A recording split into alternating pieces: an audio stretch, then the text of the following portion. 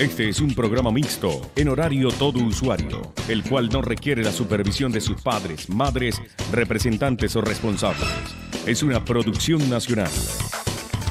El Señor es mi pastor, nada me falta. Radio Natividad 101.7 FM presenta Configurando Pastores al estilo de Cristo. No te vayas, Señor, quédate conmigo.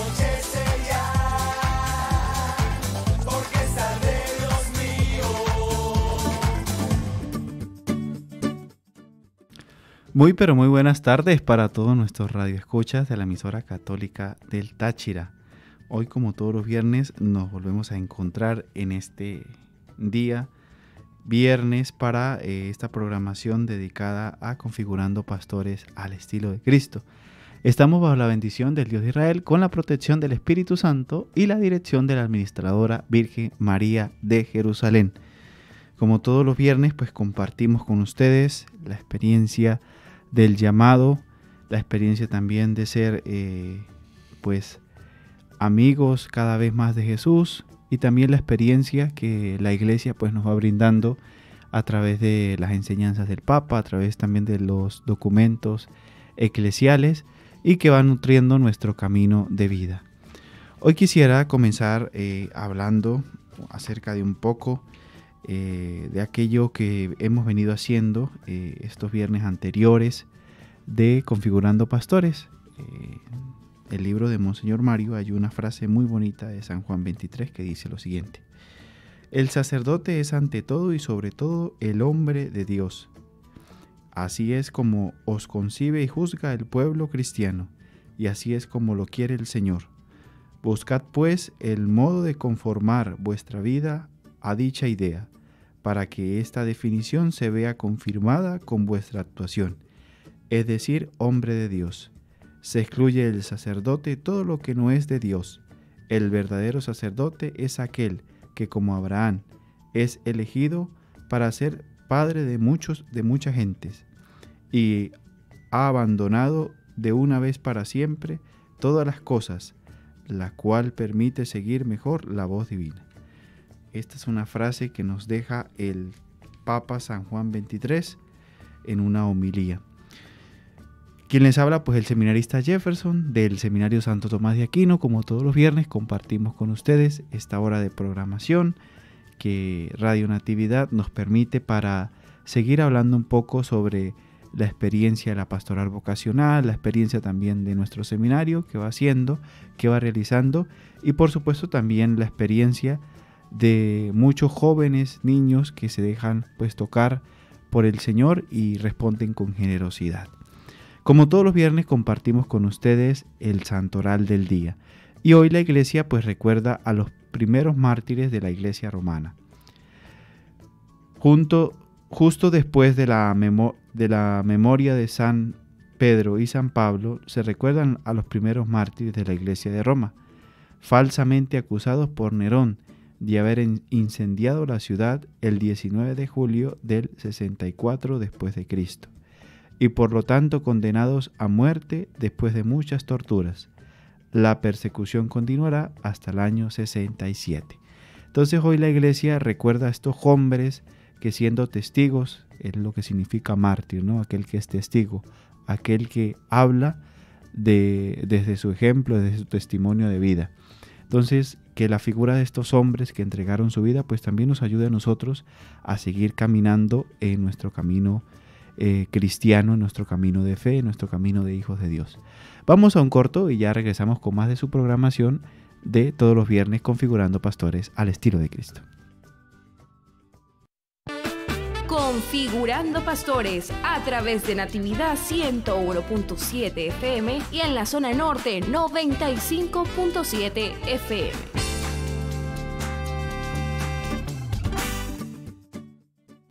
Continuamos, continuamos con más de su programa Configurando Pastores al estilo de Cristo. Como todos los viernes también compartimos, eh, la semana pasada pues como todos lo sabemos por problemas de salud, el Santo Padre pues no pudo hacer su audiencia como lo hace todos los miércoles. Pero este miércoles retomó nuevamente estas bonitas audiencias y profundas audiencias sobre la catequesis eh, dedicada a la pasión por la evangelización, el celo apostólico del creyente, y esta es su catequesis número 17 dedicada a eh, este bonito tema de la pasión por la evangelización. Y es un tema muy marcado también del Papa Francisco en su, en su documento Evangelii Gaudium, ¿no? Aquel que nos invita a ir en salida, aquel que nos invita a salir de nuestras comodidades, aquel que nos invita a salir de nuestra zona de confort e ir a anunciar el Evangelio a aquellas periferias donde no ha llegado eh, el anuncio del reino. Y el Papa, pues a lo largo de su catequesis nos ha venido mostrando testigos. Hablamos hace un momento de los testigos o de los primeros hombres y mujeres que dieron testimonio de Jesús resucitado, que se convirtieron en mártires por hacerlo. Y pues el Papa ha venido mostrando esos testigos. Y hoy nos regala el testimonio de Santa María Maquillot, que es una eh, pues religiosa de eh, Oceanía y que pues también tuvo una vida de entrega, tuvo una pasión por el Evangelio, una vida abnegada y entregada. Empieza diciendo el Santo Padre, hoy tenemos que tener un poco de paciencia Gracias por haber venido eh, en medio del sol, dice el Santo Padre. En esta serie catequética sobre el, eh, el apostolado estamos viendo algunas figuras ejemplares de hombres, mujeres de muchísimas islas, grandes y pequeñas. La fe en Cristo, que tantos inmigrantes europeos llevaron a esas tierras, echó raíces pronto y dio frutos abundantes. Entre ellos está una religiosa extraordinaria, Santa María Maquillot, de 1842 a 1909, fundadora de las Hermanas de San José del Sagrado Corazón, que dedicó su vida a la formación intelectual y religiosa de los pobres en Australia rural. de niña se sintió llamada por Dios al servicio y a testimoniarlo no solo con las palabras, sino todo sino sobre todo con una vida transformada por la presencia de Dios. Como María Magdalena fue la primera en encontrar a Jesús resucitado y fue enviada por él a llevar el anuncio a los discípulos, María estaba convencida de ser ella también enviada a difundir la buena noticia y a traer a otros al encuentro con el Dios viviente. Entonces en este primer apartado el Santo Padre nos presenta eh, o nos sigue presentando esas figuras ejemplares, esos eh, hombres y mujeres de testimonio, de ejemplo, que buscaron pues no solo quedarse ellos con el anuncio, sino seguirlo esparciendo a otros para que también pues lo conozcan, para que también se hagan parte de esta maravillosa eh, opción de vida. Y luego nos presenta eh, el anhelo que ya sentía esta mujer desde muy niña, ¿no? De transformar aquello que ya pues recibió eh, para otros, así como María Magdalena, y coloca este paréntesis del Santo Padre. Continúa diciendo, una característica esencial de su celo por el Evangelio consistía en cuidar a los pobres y a los marginados. Y esto es muy importante. En el camino de la santidad, que es el camino cristiano, los pobres y los marginados son protagonistas y una persona no puede ir adelante en la santidad si no se dedica también a ellos, de una forma u otra. Estos, que necesitan de la ayuda del Señor, llevan la presencia del Señor. Una vez leí una frase que me impresionó y decía, el protagonista de la historia es el mendigo. Los mendigos son aquellos que atraen la atención sobre la injusticia, que es, el, que es la gran pobreza en el mundo. Se gasta el dinero para fabricar armas y no para producir comidas. Entonces en este pequeño apartado el Santo Padre nos presenta eh, en qué consistía una característica esencial del apostolado de esta hermana, de, de Mari Maquillot, quien pues decía o se aferraba por el cuidado de los más pobres, de los alejados.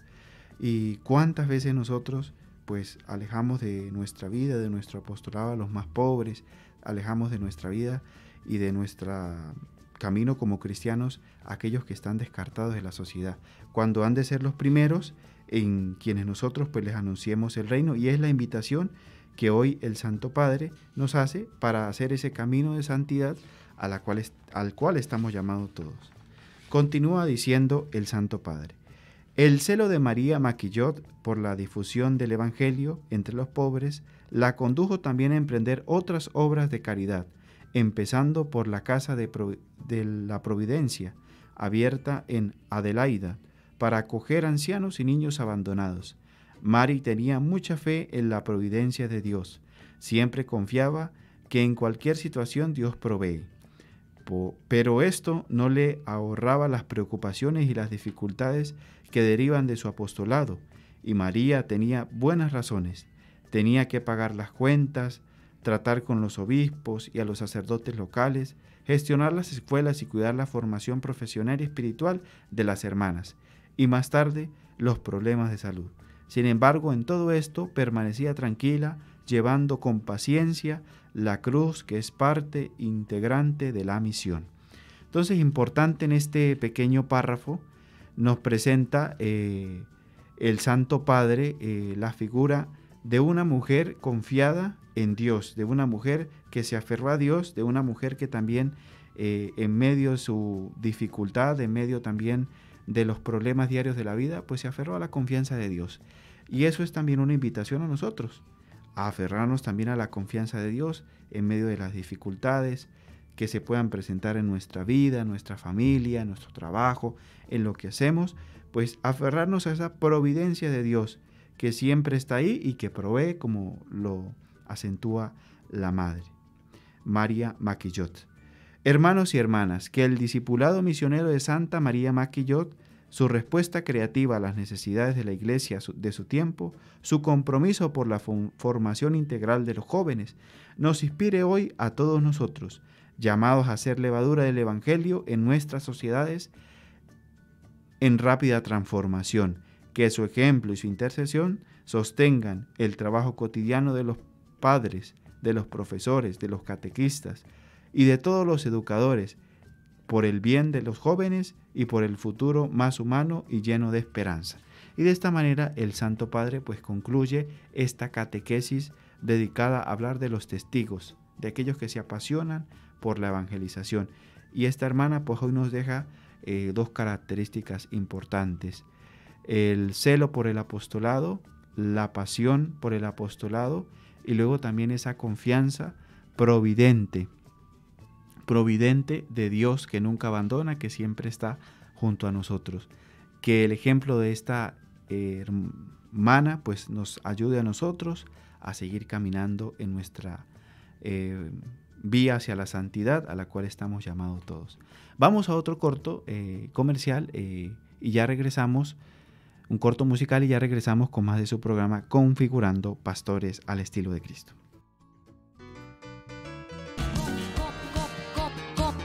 Configurando Pastores. Continuamos, continuamos con más de su programación eh, de este viernes 30 de junio, ya concluyendo este mes de junio y empezamos ya otro nuevo mes, julio. Un mes también cargado de muchas eh, bendiciones que al final de este programa pues estaremos hablando un poco de ello.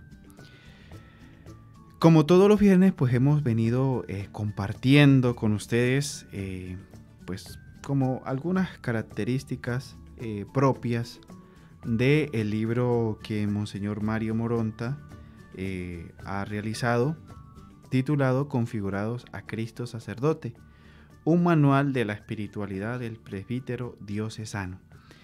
Y en él pues vamos hablando, la semana pasada hablamos un poco sobre eh, vivir el bautismo de la vocación particular a la cual pues cada uno hemos sido llamados, aquellos que han sido llamados al sacerdocio, aquellos que han sido llamados a la vida consagrada, aquellos que han sido llamados a la vida matrimonial, pero que todo confluye eh, en la vivencia eh, verdadera del bautismo. Y hoy en el tercer eh, apartado, eh, Monseñor lo titula El sacerdote configurado a Cristo, sumo y eterno sacerdote.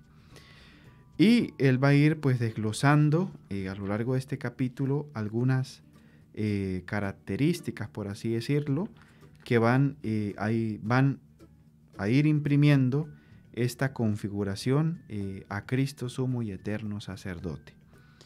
Entonces, eh, dice en estas páginas eh, breves, dice Monseñor,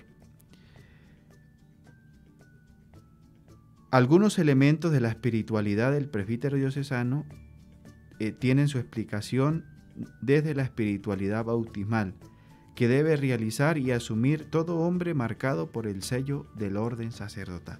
Entonces, como primera característica, la llamada. Hacer esto, haced esto en memoria mía. La llamada es una iniciativa gratuita de Dios que elige a quienes desea marcar con el sello sacerdotal y la fuerza de su espíritu para continuar, para continuar perdón, la obra salvadora de Cristo. Entonces aquí Monseñor va a ir desglosando de manera eh, pues eh, práctica estas características propias de aquel que recibe la llamada, ¿no? Aquel que es invitado a seguir llevando esa obra salvadora de Cristo, a seguir mostrando ese Cristo al cual pues eh, ha sido llamado a poseer y a tener en su vida. A lo largo de los años de formación, la llamada del Señor lo que hace es discernir acerca de ella y madurar la respuesta. El seminario es la comunidad eclesial. El candidato va madurando su respuesta a la llamada de Dios. Entonces el seminario va a ser aquel cenáculo donde el que es llamado, invitado a vivir esta experiencia eh, bonita del sacerdocio, pues va a ir madurando en su fe, primero que todo, y luego va a ir discerniendo, va a ir tomando eh, pues las distintas responsabilidades que acarrean también el, seguimiento de Jesús, ¿no? Y pues que comúnmente pues nosotros también debemos ir asumiendo como bautizados y como miembros también de una comunidad eclesial o de una comunidad eh, que se llama la iglesia. La llamada es particular y cada uno recibe de manera personal con las características, las circunstancias propias de cada cual.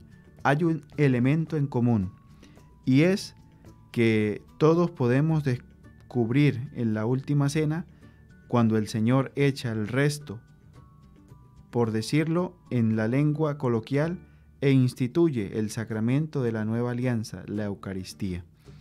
Entonces todo va a confluir, o la llamada particular, a pesar de que sea en distintas realidades, pues va a confluir siempre hacia un mismo fin, que es la Eucaristía, fuente y culmen de todo cristiano, así como lo cataloga el Vaticano II.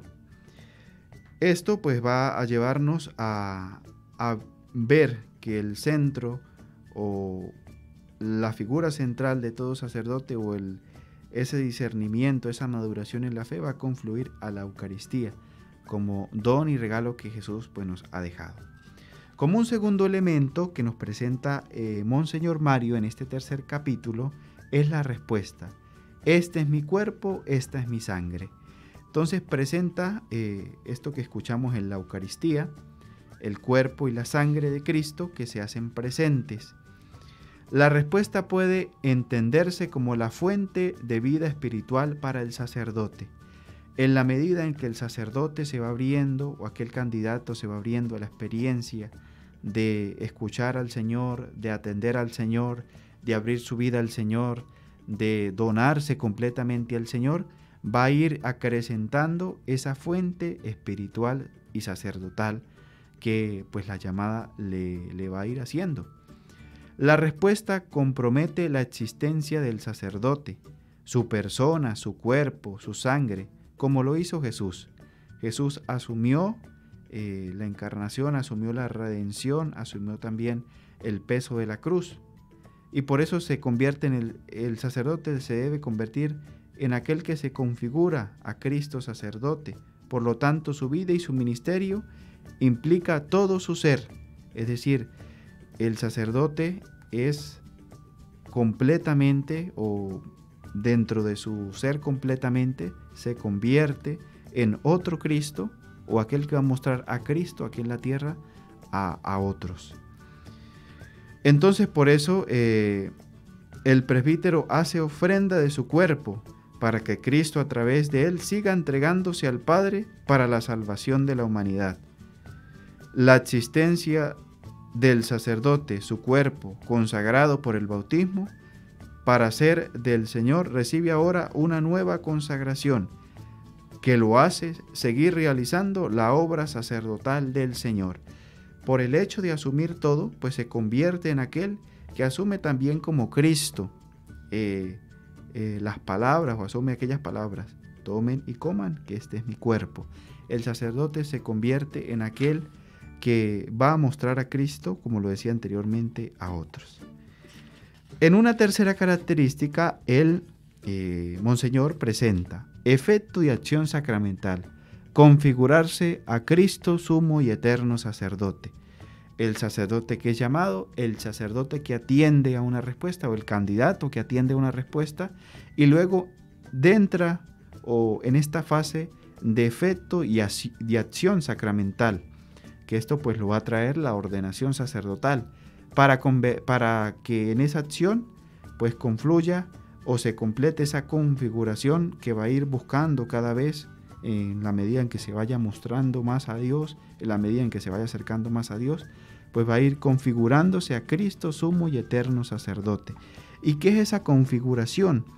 Es pues precisamente la vivencia bautismal de estar identificados a la muerte y resurrección de Cristo que se hace real en el sacerdote, en la vivencia de su ser configurado a Cristo, sumo y eterno sacerdote. El sacerdote, pues principalmente en su vivencia, en la medida en que se vaya haciendo más fuerte su vivencia, pues él se va a ir convirtiendo en ese Cristo que se hizo sumo y eterno sacerdote. Y esto, pues precisamente eh, va a llevarlo a actuar en persona de Cristo como cabeza.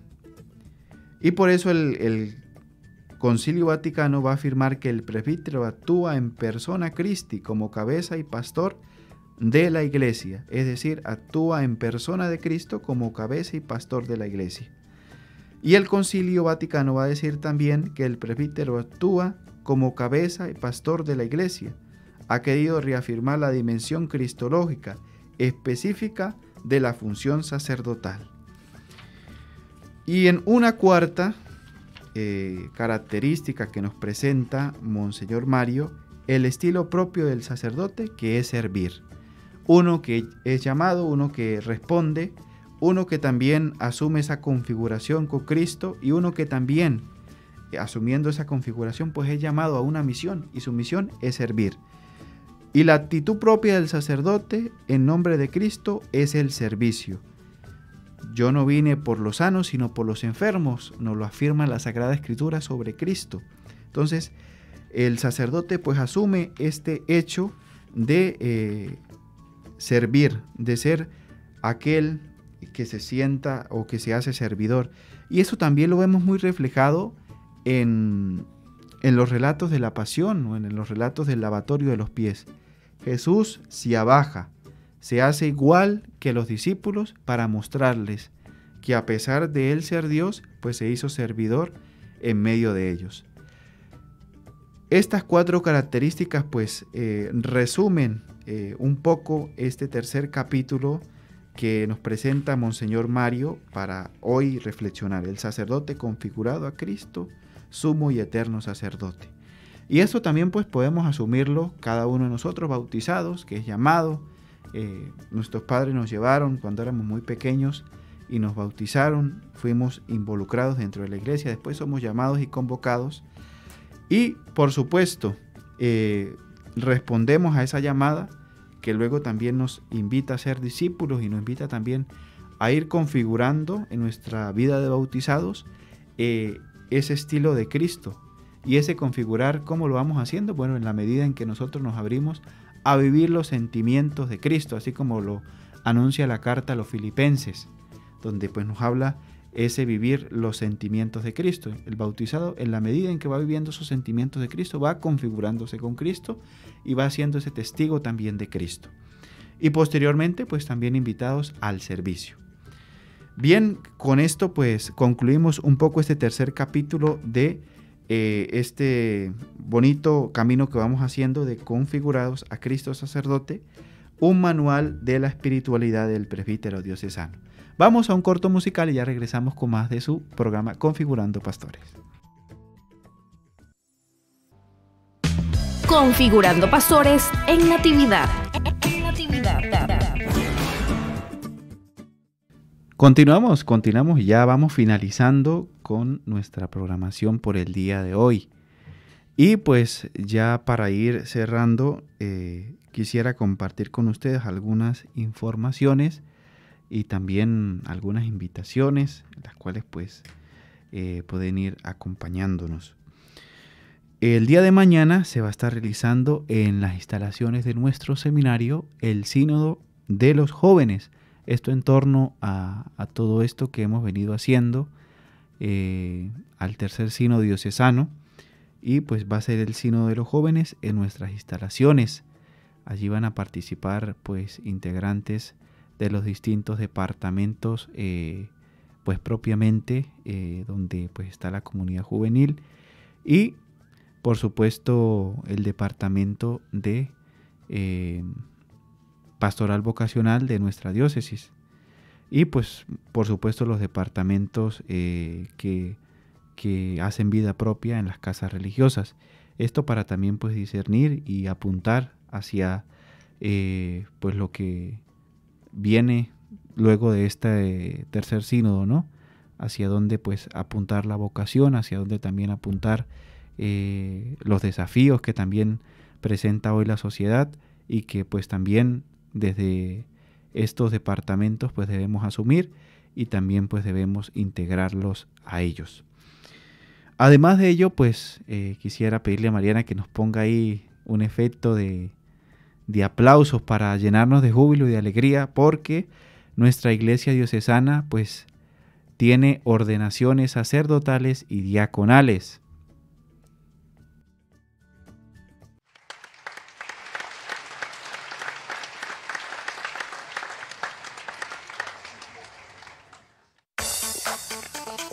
El Señor es mi pastor. Entonces, eh, para el día 28 de julio de este mes, que ya vamos a comenzar el día de mañana, en la parroquia La Ascensión del Señor, a la cual pues yo también eh, pues soy de esa zona, se va a estar eh, ordenando un hijo de esta zona que se llama el diácono Joan Chivatá y junto a él un hermano seminarista de la comunidad parroquial de San José de Bramón el seminarista Neri Gilberto Sepúlveda.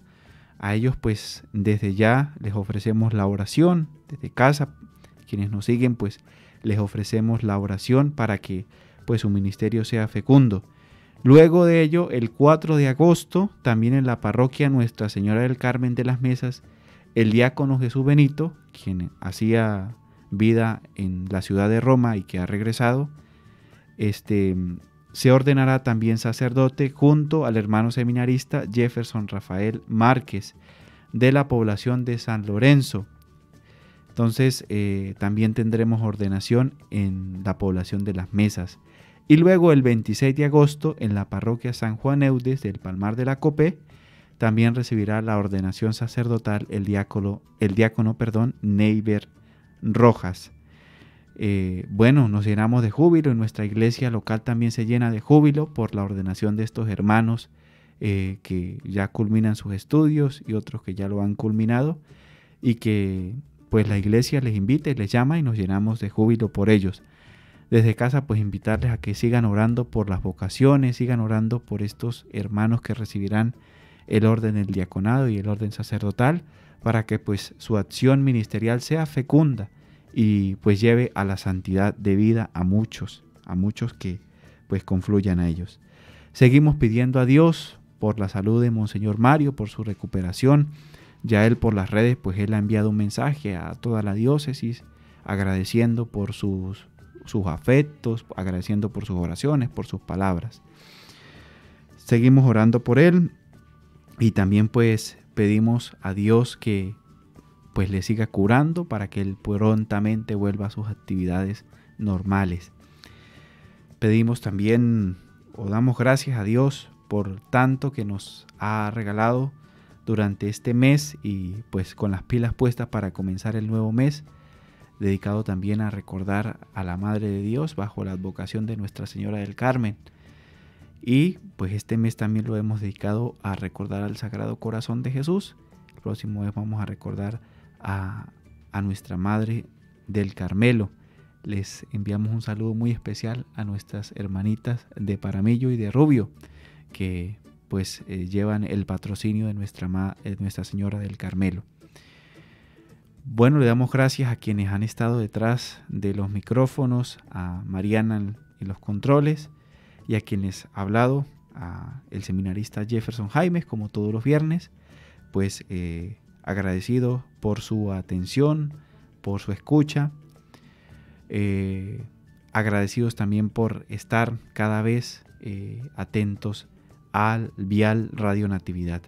Por aquí me han entregado el sticker que pues está siendo eh, vendido aquí en la emisora. Yo soy Radio Natividad, esto eh, por em, el aniversario de los 13 años de fundación de esta radio católica del Táchira. Entonces las personas que quieran adquirir este sticker eh, para su vehículo, para su casa, para la entrada de la puerta de su casa, pues aquí en las instalaciones lo están vendiendo eh, por el valor de un dólar o cinco mil pesos eh, colombianos. Esto pues para aportar también a que la labor de esta emisora pues se siga propagando y siga haciendo su acción fecunda en el Táchira y fuera de él, porque he escuchado también que esta emisora pues llega a la zona de frontera y más allá de la frontera. Agradecido con quienes nos han escuchado desde la zona norte, eh, La Grita, El Cobre, Ceboruco, a quienes también nos han escuchado desde la zona de frontera, Ureña, San Antonio, eh, San Pedro del Río. Y allá invito, eh, allá envío un saludo muy especial a las familias Moreno que siempre están en sintonía de este programa. A quienes nos han escuchado aquí desde la zona metropolitana, pues también muy, muy agradecido.